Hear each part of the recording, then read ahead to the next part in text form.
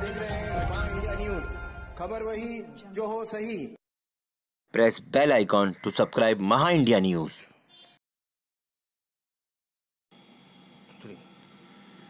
वंचित बहुजन आघाड़ी कुर्ला के उम्मीदवार अब्दुल रहमान अंजारिया को किया नज़रबंद।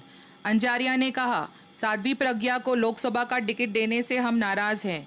जिसका विरोध करने के लिए प्रधानमंत्री को बीकेसी में हम काले झंडे दिखाएँगे।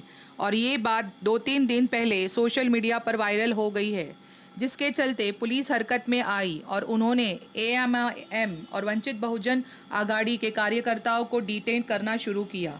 आइए बात करते हैं अब्दुल रहमान अंजारिया से कि उन्होंने क्या कहा। अंदर जी, बताइए, आप ये काले झंडे दिखा रहे थे प्रधानमंत्री को। तो ये बवाल क्या हो गया इसमें? बवाल की कोई बात नहीं है, ये बस ये है कि भाई आप एक आतंकवादी को टिकट दे रहे हैं, उसका निषेध कर रहे थे।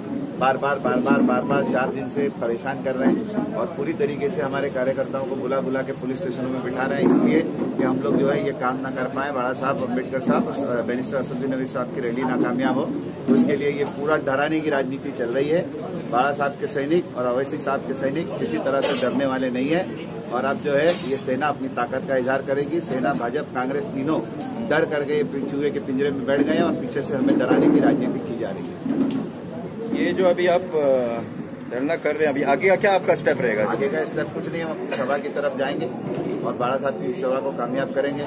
हमारे कार्यकर्ता है पूरे राज्य में मैसेज पहुँच चुका है पूरे राज्य में लोगों में रोष है और जिसे गिरफ़्तार करना है वो गिरफ़्तार करे उनकी ताकत है तो गिरफ़्तार करके दिखा दें। अब महाराष्ट्र सरकार को क्या बोलना चाह रहे हैं इसके लिए। महाराष्ट्र सरकार नहीं, इसे आप ब्राह्मणवादी सरकार कहो, ये ब्राह्मणवादी सरकार है। और ये सरकार जो है वो मुसलमानों की, दलितों की, आदिवासियों की और धनकर समाज की, किसानों की, गरीबों की सख्त दुश्मन है और इसकी दुश्मनी का भांडाफोड़ आज होने वाला था। आज अरुण जेटली का बहुत बड़ा पोल हम लोग खोलने वाले थे कि एक सिंह नाम का आदमी किस तरह से एक छोटी सी जो मनोज प्रमोद महाजन का ओएसडी हुआ करता था, आज जो है वो बहुत बड़ी कंपनी का स्पाइस जेट का मालिक बन गया और आज वही स्पाइस जेट जो है वो जेट एयरवेज को ले रही है। किस तरीके से ये ब्राह्मणवादी सरकार बड़े बड़े अपने ओएसडी एक मामूली आदमी ओएसडी इतना बड़ा कैसे बन गया? आज हमारी सभा में उसका खुलासा होने वाला था, इसलिए ये सारे तमाशे किए जा रहे हैं। ये उद्योगपतियों के बोलने पर ये मोदी नहीं है उद्योगपतियों की सरकार, गरीबों की सरकार नहीं है, ये सारा तमाशा उसलिए हुआ जा रहा है। क्योंकि ये वही आदमी है जिसने सबका साथ सबका विकास नारा दिया था। आपकी बार मोदी सरकार ऐसा नारा दिया था और उसका हम लोग भांडा फोड़ने वाले अभी वैसे देखा जाए तो पहले पुलिस वालों ने बहुत परेशान किया। सीधा आके अपने लोगों को रोक दिया गया बाहर निकलने से। मैं खड़ा था यहाँ पे हाजिर था। तो उसके बारे में क्या बताओगे? जो पुलिस वाले अभी आके भी गए जब प्रेस की आज़ादी नहीं है इंसान की आज़ादी नहीं है यही मोदी सरकार थी जिसके जब मुझे भी धक्का मारा गया। प्रेस के पास आ गए और बोले कि इंडिया की जुडिशरी को बचाओ। इससे ज़्यादा हिंदुस्तान का नाकामयाब वज़ीर आज़म कोई हो ही नहीं सकता। इतिहास में भारत के पहली मरतबा सुप्रीम कोर्ट के जजेस प्रेस के सामने आके कहते हैं कि हम पर दबाव है, इससे ज़्यादा शर्म की बात डेमोक्रेसी में हो नहीं सकती। ये संविधान डॉक्टर बाबा साहब अंबेडकर का दिया हुआ है और उसमें जुडिशरी को जो पावर दिए हैं, वो बाबा साहब अंबेडकर ने दिए हैं, जिसे हम किसी भी हालत में बर्दाश्त नहीं करेंगे कि किसी भी तरीके से किसी जज को जुडिशरी को दबाव में या इन्फ्लुएंस में लाए। जुडिशरी हुकूमत के बाप की नौकर नहीं है। सर आप क्या कहना चाहोगे? तो नेहरू नगर के अंदर हमारी सभा है। हाँ। वो सभा कामयाब कामयाब होना चाहिए। हाँ। इसके लिए सभी वंचित आघाड़ी के जितने भी वरिष्ठ नेता है एमआईएम के वरिष्ठ नेता बाला साहब अंबेडकर असुद्दीन ओवैसी साहब ये वहाँ आ रहे हैं। और वो सभा नाकाम करने के लिए ये शासन और प्रशासन की मिली भगत है। उनका एक प्लानिंग है ये। ये प्लानिंग हमारे समझ में आ गया और उसके कारण ही सभी कार्यकर्ता यहाँ जमा हुए। अगर उन्होंने तो अटक करना है तो उन्होंने हाथ लगा के बताइए, अटक कीजिए।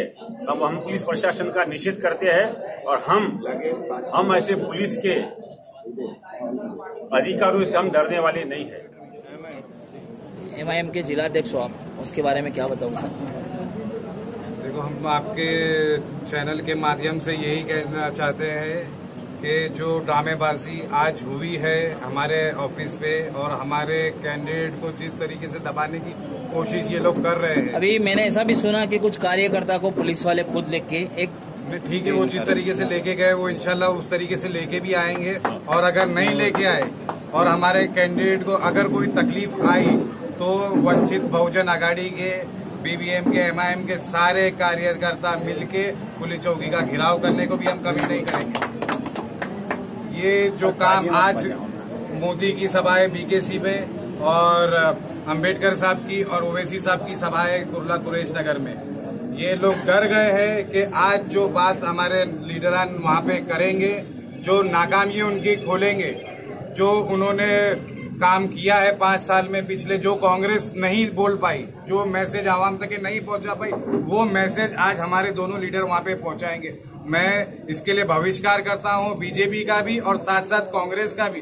ये कांग्रेस की ही नाकामी है कि ऑपोजिशन में रहने के बावजूद भी इनकी नाकामियों को सामने ला नहीं पाई। और वही नाकामी आज, अब प्रकाश बाला साहेब अंबेडकर लाएँगे और ओवैसी साहब लाएँगे। उनके वही डर से आज हमारे को दबाया जा रहा है, लेकिन हम लोग डरने और घबराने वाले लोग का नाम मजलिस नहीं है।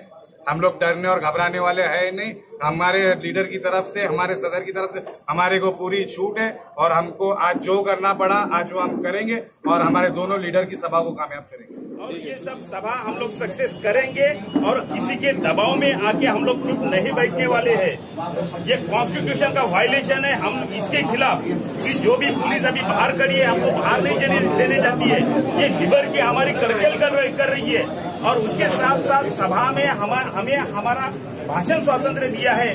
वो भाषण स्वातंत्र भी ये लोग ले रहे हैं और हम लोग को दबाने की कोशिश कर रहे हैं लेकिन हम लोग दबेंगे नहीं। हो सकता है कि ये जो भी प्रशासन हमारे ऊपर कार्रवाई कर रही है, हम इसका चैलेंज हाईकोर्ट में सुप्रीम कोर्ट में करेंगे और न्यायपालिका में हम लोग ज़रूर न्याय मांगेंगे क्योंकि ये गलत कर रहे हैं पुलिस। ये फडणवीस सरकार, मोदी सरकार, ये गलत कर रही है। हमको मुसलमान, दलित और वंचित को दबाने की कोशिश कर रही है, लेकिन हम लोग दबेंगे नहीं, हम लोग डरेंगे नहीं, हम लोग भारी संख्या से सभा के जगह जाएँगे।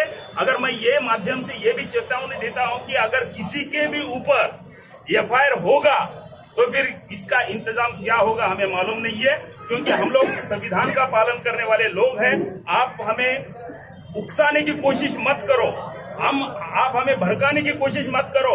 हम शांति रखने वाले, शांति पे अमल करने वाले लोग हैं। हम रिक्वेस्ट करते हैं प्रशासन और पुलिस को भी रिक्वेस्ट करते हैं कि हम लोग जो हमारी सभा है, हमें होने दो और किसी के भी ऊपर एफआईआर मत करो। अगर